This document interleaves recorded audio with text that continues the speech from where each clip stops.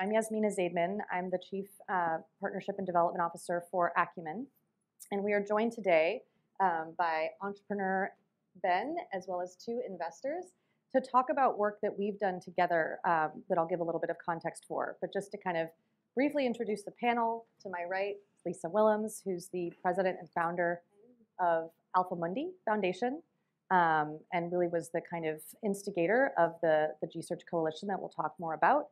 Ben Prinz, who is the founder and CEO of, getting the name wrong, changed, Asili Agriculture, um, who was a part of this research, and Willy Foote, who's the CEO and founder of Root Capital, um, who also participated. So we've all had a chance to work pretty closely together um, and hopefully can share with you some of our experiences. So the premise for the conversation today is that for a lot of us, gender equity, uh, and I think probably for many of you as well, is not just kind of the right thing to do, but is really the smart thing to do for building high impact um, and successful businesses. And you know, whether it's intuitive or justice based or evidence based, there is actually a strong case that advancing gender equity in business overall is just the smarter path. Um, we've seen data that shows that female led companies outperform all male founding teams. Um, we've seen the benefits that accrue from having uh, gender diverse boards um, across every kind of business. And there's actually a new study that came out from um, Arabesque that showed that gender diverse companies are more likely to align their strategy around a goal of capping global warming. So it seems like gender diversity could have multiple impacts. Um, but despite all of this evidence, the reality is that across large mainstream businesses and often among startups as well, it is really difficult to see the kind of gender parity and gender equity that we want to see. Um, not only in terms of the companies, but also the ways that they operate, the people they employ, and sometimes the customers that they serve. So, we as a community of investors who really see the value of gender equity wanted to find a way to advance gender equity, not just by saying, let's just dedicate all of our capital to female entrepreneurs, but to dig deeper into this question of how do you integrate gender equity across your portfolio and really embed it in the DNA, particularly of early stage companies, rather than waiting until they've scaled to say, these are some sort of deeper problems that we see. How do we start from the beginning and integrate that into the ways that we support companies? So, this is not a conversation about sort of portfolio construction or investment strategy. This is about how we support and accompany the companies that we work with. So we're going to talk a lot about technical assistance and capacity building. What are we doing with the entrepreneurs that we support to advance gender equity? Um, we have provided some copies for you of an executive summary of the research that we decided to do. Uh, essentially, we had a conversation, and Lisa will talk more about it, but it was like, we're doing this, but what are we learning? And are we really leveraging each other as much as we could to understand what's working. And so we joined forces, um, AlphaMundi, Acumen, and four other impact investors to look at specific TA projects that we could learn from and ended up looking at over 30 projects. Um, so today we'll hear a little bit about the research, but really want to open it up to a conversation with all of you to see how this issue comes up either for your business, for your fund, or if you're one of those organizations that's really helping to lay the, the groundwork for gender equity where you've seen successes and challenges. Um, so I'm going to start with Lisa. And I would love for you to just share a little bit more about how this research came to be um, and some of the key takeaways um, that you guys came away with. Great. Thank you. um, so, for those of you who are like SOCAP veterans and have been around at this conference for a while, Suzanne Biegel always used to do a gender thing that you know started at like 7 or 8 a.m. like really early. And when she first started, there were like nine people in the room. And by 2019, or I think that was when we, Yasmin and I talked, it was, you know, this massive tent with like two, 300 people. Um, so our journey, you know, started first by, just for background, AlphaMundi invests predominantly debt, um, mezzanine financing in early stage enterprises in East Africa and Latin America. So most of the pipeline we were seeing uh, was male founders. And basically, a lot of this started because the earlier definitions, I think, of gender lens investing, we just felt were a little bit too narrow. So, as Yasmina just mentioned, it's not just about directing capital to female founders, which of course we want to do and, and continue, want to encourage everyone to continue doing as well. But we were investing in companies that had 20 employees at the time of our investment and grew to seven, 800, 1,000 employees. And we wanted to come up with a way to embed gender equity, empower women in these companies, and you know not ignore the 95% of the pipeline companies we were seeing. So how can we you know, broaden this definition of, of gender lens investing to include all these companies that might not be started by women but have tremendous potential to impact the you know local employees, the staff, the clients, beneficiaries, et cetera. Um, so we started, uh, we, I founded AlphaMundi Foundation in 2016 to raise uh, a dedicated technical assistance facility to support our companies. Uh, gender was one of the issues I really wanted to focus on. And we realized other people, Root Capital, doing this, I think, probably longer than anybody else. Yasmin and I were chatting at SOCAP at this gender event three years ago. And we are like, how can we do more of this? How can we scale this? And I think what investors really want to see is a business case for it. So what are the concrete social and financial benefits of spending money on doing this type of work? And that was how this got started because we were like, all right, we know a lot of people who are doing similar things, but no one's ever actually you know researched what the quantitative benefits are that we can see like we know anecdotally from talking to our companies that they've seen benefits um, but the purpose of G-SEARCh was to actually take a subset of projects you know, from like-minded investors and p- apply a very rigorous analytical approach. So we worked with the uh, William Davidson Institute at the University of Michigan, and you know, lots of, of survey data, pre and post project, pre and post intervention. Um, and the result is really two years of, of this research report that you can find here, which is really just scratching the surface, but does show that we uncovered a lot of very concrete social and financial benefits of, of this type of work. Um, and maybe I stop there for now. yeah, I think we'll have lots, lots more to explore. So I'm going to hop over you for a second and come back to you. Um, so Willy, I guess just as Lisa said, you've been doing this longer than anyone, and gender, I feel like, has been in in this group. Um, gender has been integral to your strategy for a really long time, and I wanted to just hear from you sort of why that's the case and how you think about supporting the entrepreneurs and the businesses that you work with uh, with that gender lens. Well, thanks, Yasmina. It's great to be here.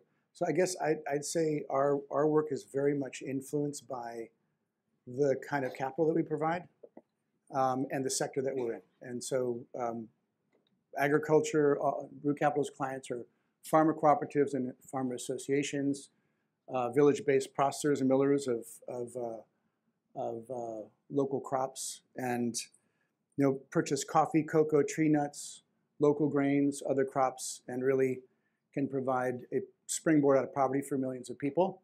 And as you said, this, this year we are um, celebrating our 10th anniversary of our Women in Agriculture initiative, whereby we've invested in uh, women-led, invested in and providing lots of business support to women-led and gender-inclusive businesses that are proactively creating economic opportunity for women and also uh, increased opportunities for participation and leadership of women uh, at the enterprise level and also at the farmer level.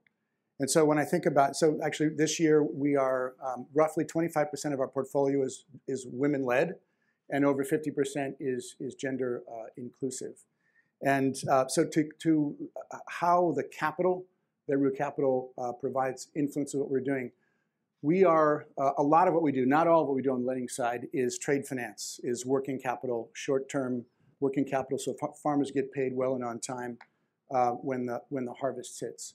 This year, we're going to provide roughly $170 million to 200 businesses, roughly, that aggregate about 750,000 farming families. So 3 million people if you include uh, uh, family members, household members.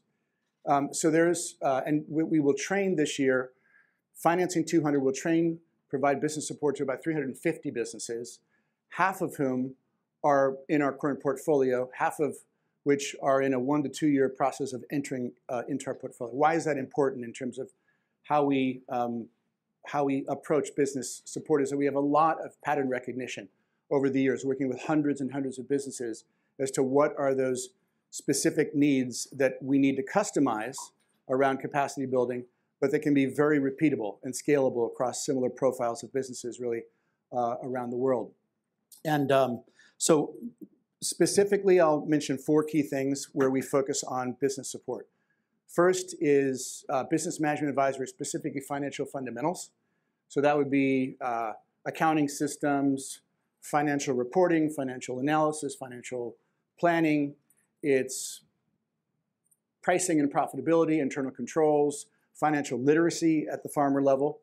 So that's thing one. Thing two would be um, data uh, DBI, data business uh, intelligence, whereby we're digitizing farmer level data uh, across now close to 80 of our clients and building the enterprise level information management systems so that the data at the farmer level can be used as a decision making tool and can inform, for instance, and monitor and track climate smart agricultural practices, regenerative agricultural practices. And then last one would be, for instance, that I mentioned, there, there are others, but ACRA, which is uh, Agronomic and Climate Resilience Advisory, where we're working with the local extension teams, uh, the agronomic teams within farmer businesses, to deepen their expertise around regenerative agricultural practices and build up those teams and provide um, all sorts of support there. So all of this we deliver, and I'll come to where gender equity fits in. All of this we deliver through centralized workshops and on-site advisory. So just quickly, where gender equity fits in on our business support, I'll just mention a few things. First, um, we've had a partnership since the very beginning with Value for Women, which is a gender research organization. It's been a very important partnership for us, whereby together we have developed and we've established and we've hardwired and we've disseminated kind of the fundamentals of gender inclusive training uh, and also rolled out our commitments uh, in gender equity across our global operations. So that's been really important. The next one is that we've trained and continue to train all of our advisors, uh, our business support uh, advisors around the world uh, in um, gender inclusive pedagogy that we've developed together with Value for Women.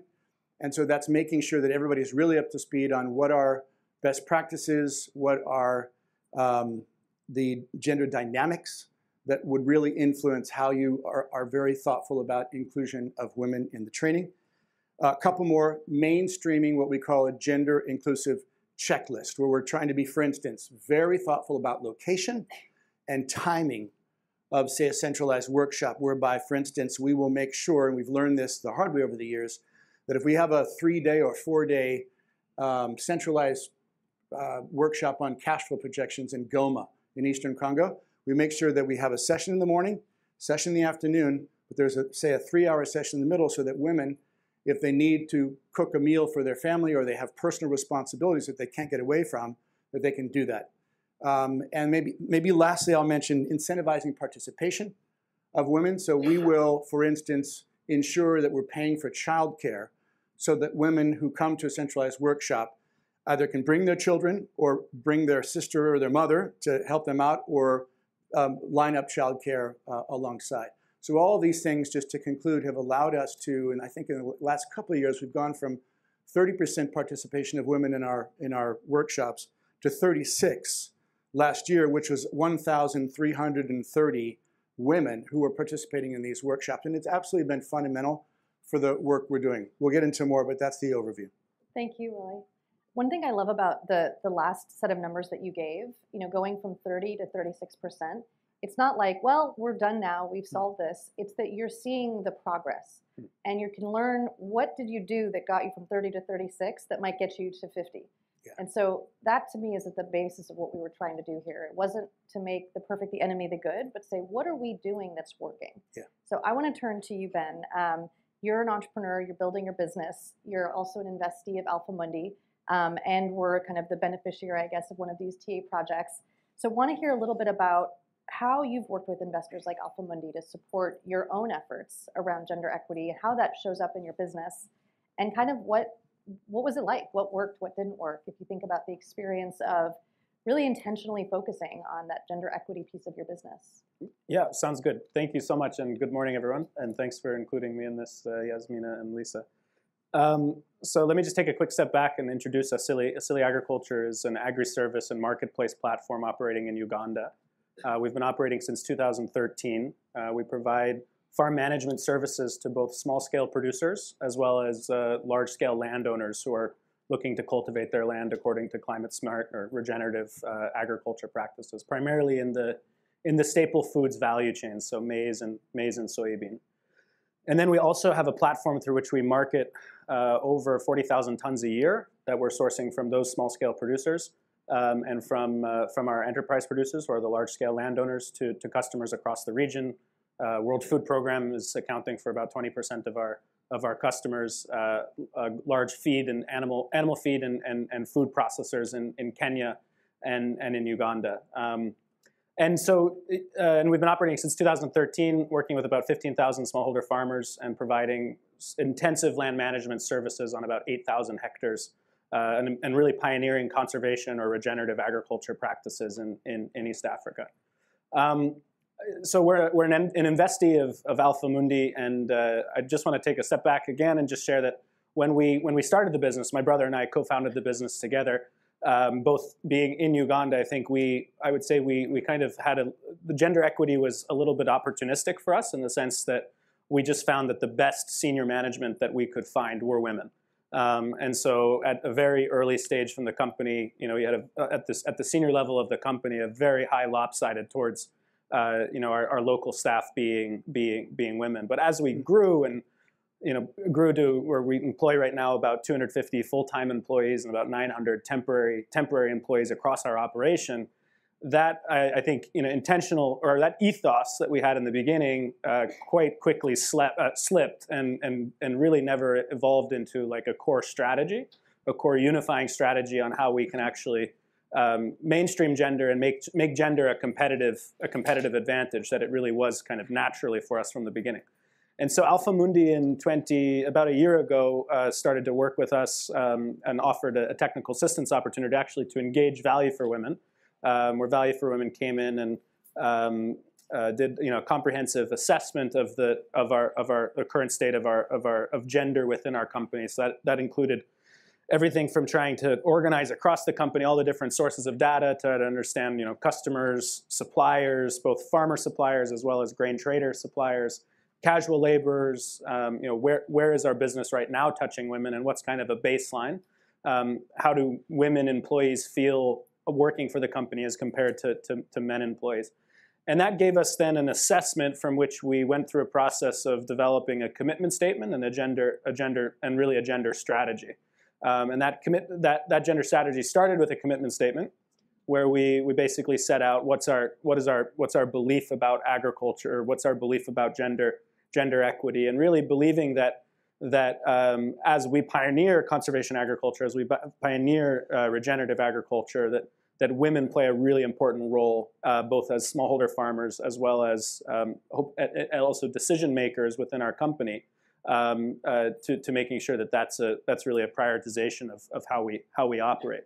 Um, yeah, so from strategy, we, we basically within the strategy are identified really four key initiatives. The first key initiative was um, around the workplace um, and really identifying ways to increase retention of and increase participation of women um, in, in, in the workplace uh, for us. So, uh, you know, kind of a workforce focused, uh, focused element.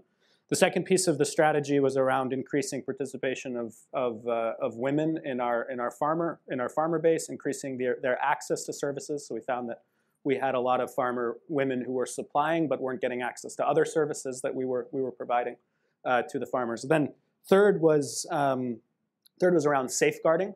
Uh, I, I, don't know if that's a term that's used as as usual as, as regularly in the United States, but in, in where where we have where we, we operate, safeguarding really refers to uh, you know everything from anti-sexual harassment to really how the how our how our operation is interacting with the community. So as a business with large-scale farms with with uh, rural extension officers, really creating a standardized process by which um, sexual harassment issues and, and other child and, and, and, gender protection issues could be escalated to the very top of the organization at any moment where there's an issue became not just something that we were doing from a um, uh, really became something that was central to what we were what we are trying to do. And then I think the last piece around the gender strategy and commitment was about how do we mainstream data or make make all of our data and all the data that we're capturing across the organization um, integrating a gender lens in a similar way to how we're integrating an understanding of our you know GHG emissions and and uh, really looking at at how how we can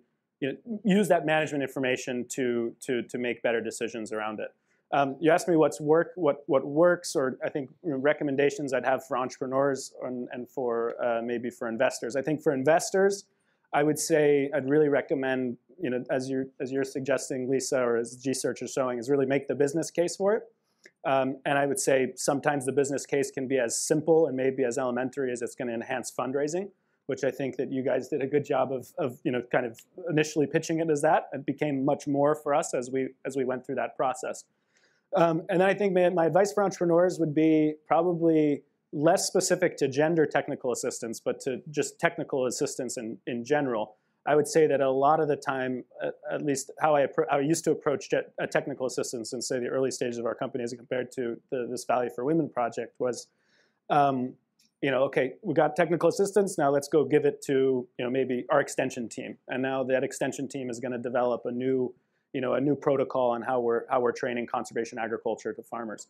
Um, and I would just recommend for entrepreneurs that really the technical assistance is an, is an incredible resource and sometimes it's not perfect.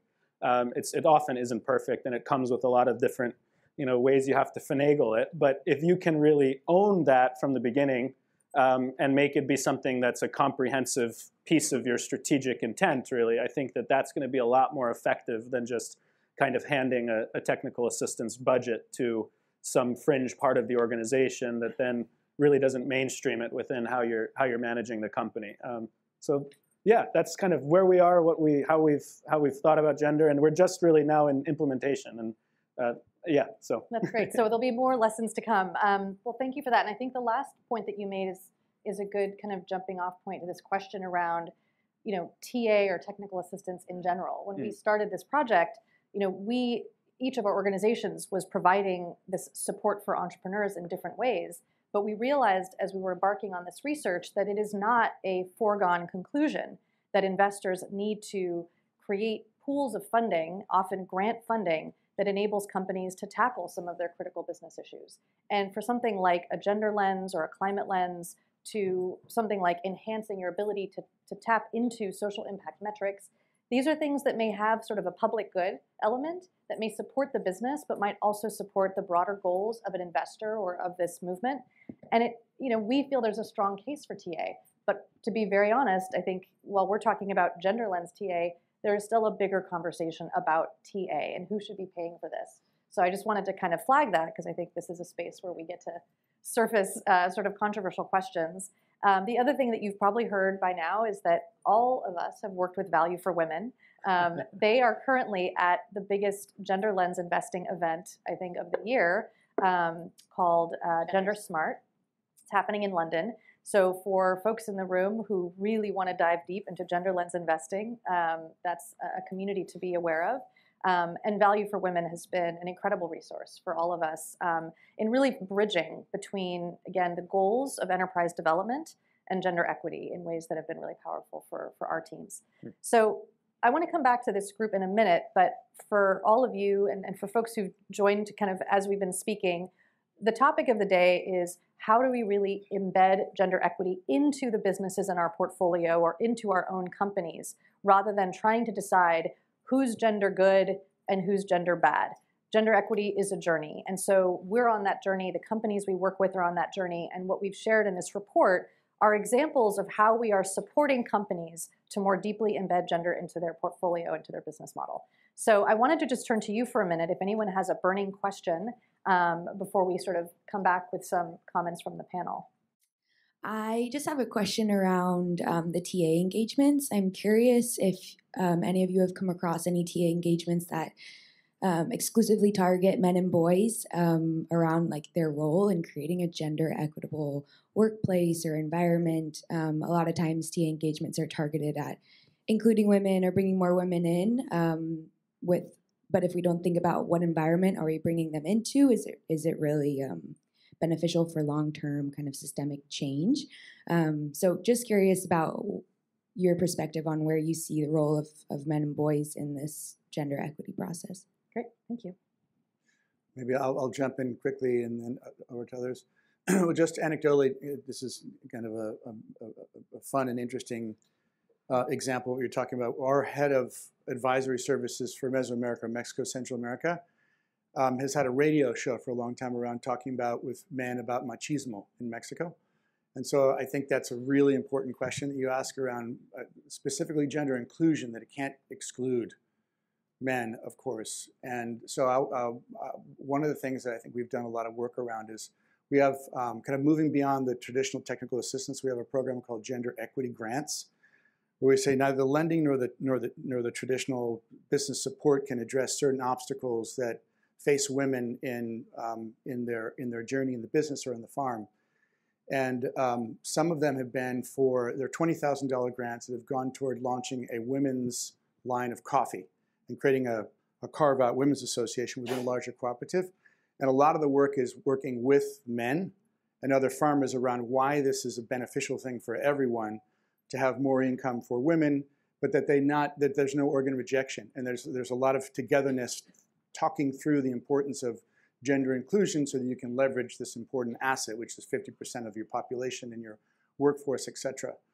Um, but you know, it's it goes back to maybe to conclude, it goes back to being able to really um, horse whisper your way into what are really thoughtful, gender inclusive strategies to not have perverse consequences that you didn't expect um, if you're not including, for instance, very deliberately men or, and boys in the, in the conversation. Any other? Well, I mean, I think this is what we are doing by definition, right? Because we're targeting companies that were founded by men and then bringing that TA to them. And, you know, Ben, actually, the way you described your journey, it's very classic to what we've heard a lot, you know, oh, yeah, we're mindful of, of gender. And, and I had a CEO of a, one of our solar companies a couple of years ago on a panel, you know, our, like, we're 50 50 in management with like women. And then that's where it ends. You know, they're like, okay, we've hired some women and like, check, we're done but i'm sure as you can attest to now once you go through this whole exercise and you look at you know gender equity across the business operations in total you know by definition that is we are working predominantly with men at that point to then you know build a strategy that works for everyone in the business both men and women and when we when we were talking to the ceo of our solar company you know we were asking about the customers and who predominantly buys these and like you know, do you have any women on your marketing team? You know, so your marketing team, oh no, we don't really. Like we haven't thought about that. You know, what about on your design team? Like, you know, mm. so it's uh, when you start. I mean, how how we start and, and what Ben mentioned, and we work with Value for Women, super value valuable partner. Um, they can't do everything, so I definitely think there's a need for more organizations like them, and I think there's a need for standardizing some of these uh, uh, uh, projects or packages that we do so they can be scaled up and we can we can talk more about scaling later um, i lost my train of thought uh, um, I totally lost my train of thought. but bottom line, we are working with men. yeah, it's. I mean, it, the the project came about to work with men because we felt that the gender lens was too focused towards mm. you know women and supporting just women entrepreneurs as opposed to working with men to be inclusive.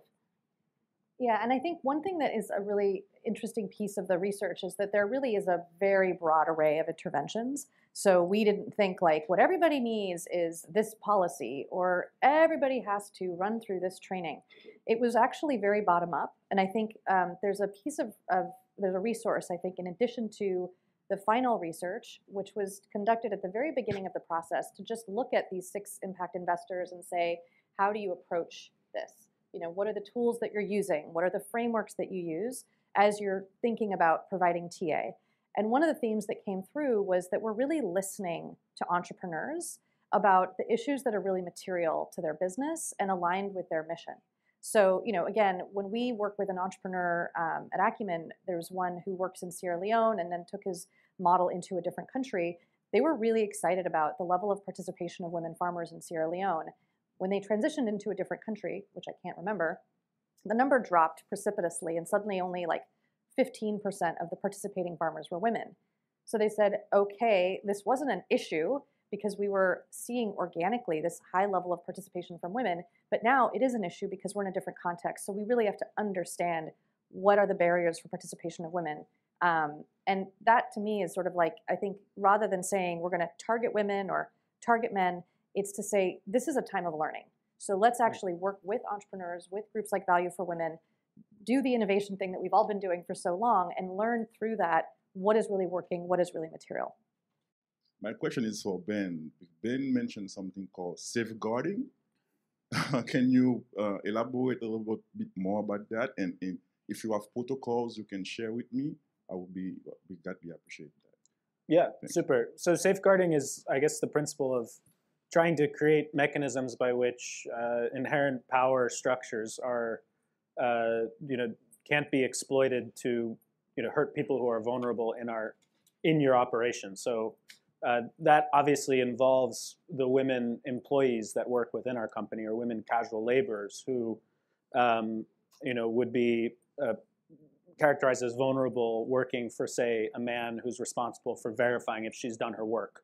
So how do you make sure that that woman has a a way of uh, raising an alarm or whistleblowing or you know or raising that grievance that maybe the individual is is is, is seeking to to leverage like force her into into some kind of sexual behavior or something like that.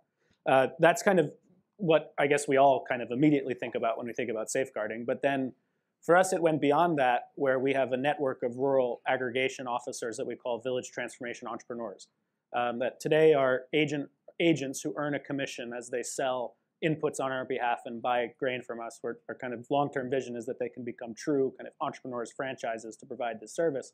So how do we embed within the services that they're provide or embed within the the, the structures that they're operating through um, ways that sexual harassment issues, uh, any exploitation can be can be immediately escalated to to the company and be and be managed in a transparent and and and and uh, and uh, legitimate manner.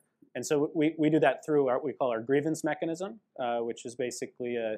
But I may have to cut you off yeah, because we have time. about five minutes. Sorry, yeah. and I want to make sure we get to wrap up. But the point there is that there are going to be protocols and policies, and I don't think every startup needs to invent them. So one of the, the things I Yeah. think we can think about is how are we making those more widely available? So for example, a company that's structured in a similar way in a similar context. Totally, Um, yeah. And that's, I think, going to our last comments. What are some things that you would recommend that investors do to really support this process? You know, what is the first step or uh, a starting point um, that you think investors can take away? And then likewise for entrepreneurs in the room, um, what can they do to really partner with investors or stakeholders that are supporting them to really accompany them in this process so it doesn't feel like the entire burden of advancing gender equity sits with an early stage social enterprise, which just doesn't seem right to me. So, any advice that you'd have for folks as they start on this journey? Yeah, I'll start uh, with both since we've done it. I think you can't start on the journey without knowing where you are. So I think the first point, you know, whether you're an investor, or an entrepreneur, is to sort of assess where you are. And we did that internally at AlphaMundi as well as just looking at our portfolio companies to see like where are we. And when we work with Value for Women, I think one of the most valuable things and the feedback we got from all of the companies we worked with, and not just us, but everyone who worked with Value for Women, is they do this incredibly thorough diagnostic survey of all the employees where they really ask a lot of questions that uncover the perceptions um, of the culture of the company across operations. So, so much like the companies told us, and, and Ben can attest this too, just how much value they've even got from doing this initial survey. Um, and I, this is something that I think Value for Women is making public on their website or something similar. So, you know, start with taking stock of where you are, and then as a management team, whether you're an investor or an entrepreneur, think about where you want to go and you know what resources you have to dedicate to this and what resources you might be able to get to support from others i mean we went and raised money to do this Mhm. Uh, to, to subsidize it but i think where we would ultimately like to see this going to is that the, the financial and social benefits of doing this work actually exceed the payment so you know we believe businesses should be willing to start investing in this as a core part of their business strategy which is kind of the first step of what this research is trying to prove um, but I would say, like, look at where you are and, and data. Because one of the biggest things that, you know, the challenges that we had with uh, this research was getting that secondary data, like sex disaggregated. So a lot of companies are collecting, you know, basic data around their employees and their clients and whatnot, but it's not always sex disaggregated. Um, so, you know, understanding where you are and then having that data, I think are probably two of the, the most important steps. And then with that, you have the power to, Mm. to shape where you want to go. Sure. Yep. Uh, so I quickly two uh, two pieces of advice. First would be to really look at it in a comprehensive format, and not to keep on preaching for value for women here. But I would say what was so interesting about the the way that they structure their work is it's in gender commitment, leadership and staffing, and then value chain. And I think it's really important as you approach this is to, to kind of look at it from that type of integrated perspective rather than just leadership or just value chain or just, you know, what's your gender commitment. Um, the second piece I would say is maybe as an advice to um, to uh, both larger larger companies that can afford it, as well as maybe smaller uh, companies and maybe to investors, is the importance of actually having someone within the organization own um, a lot of these initiatives. And so, as an output of this project, we hired a, a gender, youth, and, and safeguarding officer um, who became a, you know, really responsible across the organization for for tracking the strategy, holding HR accountable on the leadership components, right, holding the the agricultural side on, on other components. So um, in small enterprises, I would imagine that that's not that's not as easy to just you know hire someone like that. Um, and so I would say a recommendation in the context of technical assistance, and one of the problems I think is exist in technical assistance is it's always like you hire a firm and then a firm comes and works for you. Um, and then they've got some deliverables and they leave versus you know seconding a resource or something that can really be within the organization to drive that forward. So yeah, that for me would be two integrated approach, and then uh, really don't underestimate like the resources required to actually implement whatever you're advising. I, I guess I'll I'll make one comment on the entrepreneur side, and then I, and then a, another one on the investor side. When you describe the four buckets, the four different areas that mm. you're doing gender inclusion, gender equity in the organization, we have it made me think a lot about. In the past year or so, we've launched something called Gender Equity Advisory Services, where it's basically saying, okay a lot of training has happened over in business support to individual um, women actors in agriculture in our portfolio. So at the farmer level, agri-processing level, middle managers, head accountants, heads of sales, agronomists, and of course leaders and entrepreneurs, um, uh, etc. But really, and I think what you've done um, with the business so so so well is you need you, you you need to really deeply embed gender inclusion into the policies and the employment contracts and the systems and the processes and everything of the business itself. So the business itself becomes the agent for the gender inclusion versus wonderful things that individual women leaders can get more participation, more economic opportunity. But you have to do both of those things. So like total integration within the business as an entrepreneur is important. From an investor perspective, I suppose this also uh, applies at the entrepreneur level as well. I think we think a lot about when you have a platform, as we do, certainly Acumen, AlphaMundi, where you have, in our case, hundreds of businesses that we work with across Af Africa, Latin America, Southeast Asia. It, there's a lot of cross pollination that can happen. So I feel like folks kind of call to action at a, at a community like SOCAP to be able to really, if you are developing with value for women and uh, establishing and, and hardwiring and disseminating what you're learning through all the different businesses, how do you actually um, get that out there so that you don't have to reinvent the wheel if you're in another part of Uganda? How do we actually create totally open book, open source um, lessons and learn uh, uh, lessons learned? Lastly, about a year and a half ago, I think, maybe a year, we got funding from the Walmart Foundation in Central America to work together with, once again, Value for Women, to train all of the, or to provide um, workshops and training for all the members of our industry alliance called the Council on Smallholder Agriculture Finance, or CSAF, that are maybe not quite as far along in how they think about gender equity, gender inclusion. So we've had this wonderful example where we're kind of pathologically collaborating with all the peer institutions in our place, in, in, within our space, through the cross-pollination. So having the platform allows you to do that. And then, as I said, like total integration um, deeply embedding gender inclusion, not just doing the training itself, which is important individual level, I'd say would, is how I'd conclude. Yeah, I think if there's one big takeaway from this conversation is integration. Um, you know, I think none of our organizations you'll find have created a gender portfolio. Um, gender integration yeah. to me is the key. It is embedded in our strategies, whether we're investing in agriculture, energy access. It's it's just it's there. And one thing I would suggest for folks that are trying to pursue this question of where am I now, the 2X challenge criteria that were developed by a group of DFIs and have now extended into the private sector is a really simple framework to look at the five questions that Lisa has outlined is like you look at ownership, you look at management, you look at employees, you look at customers, and you look at policies. And you look at where you are. The thresholds are defined within the 2X challenge criteria, which you can find on their website. Um, and they're relatively forgiving. And it's a very inclusive approach because in order to qualify as 2X Challenge uh, compliant, you need to meet one of the criteria. And it recognizes that people may have strengths in their business. Maybe they've said, wow, we built this amazing, very equal management team. And then you look around and say, wait a minute, all our line workers are men. Could we do better there? And so you can celebrate where you're doing well and you can work on the places that you could do better. Um, and it also, I think, creates a huge space for conversation and dialogue about what's happening in the field. What are the patterns and the trends based on this data? Um, so again, I encourage people to take a look at that. I think, you know, for Acumen, uh, this has been an incredible learning process and very humbling. Um, it's actually difficult sometimes to do these projects. So I encourage people to stay the course, not to expect immediate results. We started a lot of these TA projects um, before the pandemic and found that things were dramatically slowed and shifted.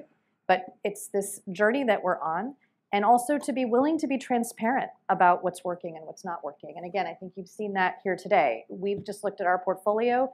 We're 56% um, 2x challenge criteria. I'm really proud of that number, and I want to go all the way to 100% because I don't see why not. And Uh, Acumen developed a tool that we use, Yes. actually, which they don't even use. but it's this Acumen ICRW tool. If you just Google Acumen ICRW gender report, and it's a list of questions for entrepreneurs. It takes maybe 15 minutes to fill out, maybe. And that was like before we did the longer intensive studies with Value for Women. That was our door opener. And we still give this to all our companies at the diligence stage. Wow. Just like, so when we're doing diligence, we you know, kind of get a sense of where they are. And, you know, we're not going to say, oh, as AlphaMundi, we're not going to invest in you if you don't have X percent as women. Hmm. But we would say, if you're not even open to having these conversations with us, we're probably not the right investor for you. Yeah. So that's really the criteria. You know, take the survey, like look at it, look at the results, kind of see where you stand. And if you're willing to just even have these conversations with us and start to think about this, then, you know, we can we can partner with you on it. Can- but can it's a good tool. Yeah. One- One quick build. ICRW is the International Center for Research on Women. And I just want to put in a plug for them. Our former board member Peggy Clark, who was with Aspen Institute for many years, runs the ICRW now. And at CGI, Clinton Global Initiative, a couple of weeks, three weeks ago, they made a big global commitment. This is maybe a teaser for the next panel that we have, which is about saying there's a lot of anecdote, but there's very little data, very concrete data and deep research on the nexus uh, of women and climate. so it feels like all of this work we're talking about is preparing for that conversation about how do we actually, with lots of data, inform transformative, um, you know, action around women and climate action. Yeah, and there is a from, fantastic report on the nexus of gender and climate that was published by Gender Smart. Yep. So the tools are out there. No There's a. QR code on the back of this, Yeah. too, which has. I mean, we have a lot of deliverables. Every one of the six uh, consortium members of G-SEARCh has a two to three pager on how they're doing this. So if you want examples of how other investors are doing it, there's two to three pagers from six investors on how they're doing it, what they're applying. Um, there's tools, there's data, there's criteria. So there's a lot of uh, products online. And if you wanna don't don't be daunted. Just start. Yep. Um, and certainly feel free to reach out to any of us if you are kind of looking for a little support on that journey because I think this is we did this G-SEARCh effort for this movement, um, and so really excited that you guys took the time to be here today. Thank you so much.